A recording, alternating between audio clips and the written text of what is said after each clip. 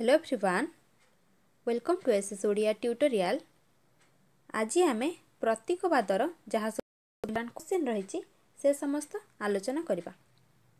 ଯେଉଁମାନେ ଚ୍ୟାନେଲ୍ଟିକୁ ବର୍ତ୍ତମାନ ପର୍ଯ୍ୟନ୍ତ ସବସ୍କ୍ରାଇବ୍ କରିନାହାନ୍ତି ପ୍ରଥମେ ଚ୍ୟାନେଲ୍ଟିକୁ ସବସ୍କ୍ରାଇବ୍ କରିଦିଅନ୍ତୁ ଯାହାଫଳରେ କି ଆମର ପ୍ରତିଟି ଭିଡ଼ିଓର ନୋଟିଫିକେସନ୍ ଆପଣମାନଙ୍କ ପାଖରେ ଯଥାଶୀଘ୍ର ପହଞ୍ଚି ପାରିବ। ଆରମ୍ଭ କରିବା ଆଜିର ପ୍ରଶ୍ନ। ପ୍ରଥମ ପ୍ରଶ୍ନ ହେଉଛି ଇଂରାଜୀରେ ପ୍ରତୀକକୁ କ'ଣ କୁହାଯାଏ? Image symbol nature symbolic. ସଠିକ୍ ଉତ୍ତର ହେଉଛି ସିମ୍ବଲ୍। ସିମ୍ବୋଲିଷ୍ଟ ଶବ୍ଦର ପ୍ରଥମ ବ୍ୟବହାର କିଏ କରିଥିଲେ? କାଜିରେର ଲାଙ୍ଗର ଜା ମୋରିଆସ୍ ଅର୍ବାନ୍। ସଠିକ୍ ଉତ୍ତର ଜା ମୋରିଆସ୍।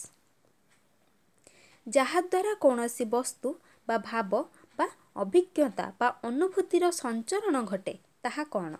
ଚିତ୍ରକଳ୍ପ ପ୍ରତୀକ ପ୍ରକୃତି ଡାଡାବାଦ। ସଠିକ୍ ଉତ୍ତର ପ୍ରତୀକ। ପ୍ରତୀକ ଯେକୌଣସି ଆଦର୍ଶ ବା ଆଧ୍ୟାତ୍ମିକ ଚେତନାର ସ୍ଥୂଳ ପ୍ରକାଶ ମାତ୍ର। ଏହା କେଉଁଥିରେ କୁହାଯାଇଛି?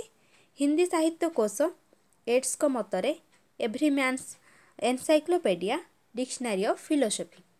ସଠିକ୍ ଉତ୍ତର ଏଭ୍ରି ମ୍ୟାନ୍ସ ଏନସାଇକ୍ଲୋପେଡ଼ିଆରେ କୁହାଯାଇଛି। ପ୍ରତୀକବାଦର ଏକ ବିଭାବ କ'ଣ? ଡାଡାବାଦ କ୍ଲାସିକବାଦ ରୋମାଣ୍ଟିକବାଦ ପ୍ରକୃତିବାଦ ସଠିକ୍ ଉତ୍ତର ପ୍ରକୃତିବାଦ ସମସ୍ତ କଳାର ମୂଳ ତତ୍ତ୍ୱ ହେଉଛି ପ୍ରତୀକ। ଏହା କିଏ କହିଛନ୍ତି?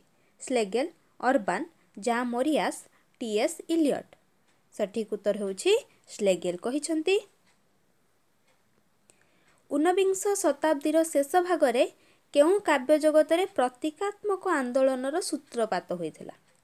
ଜର୍ମାନୀ ହିନ୍ଦୀ ଫରାସୀ ଇଂରାଜୀ। ସଠିକ୍ ଉତ୍ତର ଫରାସୀ। ପ୍ରତୀକଧର୍ମୀ କବିତାରେ ଭାଷାର ବାଷ୍ପୀଭବନ ଘଟେ ଓ ସାଙ୍ଗୀତିକତାରେ ତାହାର ପୁନର୍ନିବୋଜନ ଘଟେ। ଏହି ଉକ୍ତିଟି କାହାର? Steinberg Verlaine Debussy Monet. ସଠିକ୍ ଉତ୍ତର ଭେଲାନେ। ସାହିତ୍ୟ କ୍ଷେତ୍ରରେ ପ୍ରତୀକବାଦର ପ୍ରଥମ ପ୍ରୟୋଗ କିଏ କରିଥିଲେ?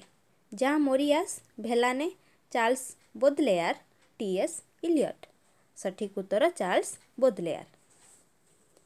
କାହାର ଅନୁସରଣରେ ସିମ୍ବଲିଜିମ୍ର ଉଦ୍ଭବ? ପର୍ନାସିଜିମ୍ ନେଚୁରାଲିଜିମ୍ ଭାବଦୀପନାବାଦ ଡାଡାବାଦ। ସଠିକ୍ ଉତ୍ତର ପର୍ନାସିଜିମ୍ ପ୍ରତୀକକୁ କେତେ ଭାଗରେ ବିଭକ୍ତ କରାଯାଇଛି? ଦୁଇ ଭାଗ ତିନି ଭାଗ ଚାରି ଭାଗ ପାଞ୍ଚ ଭାଗ।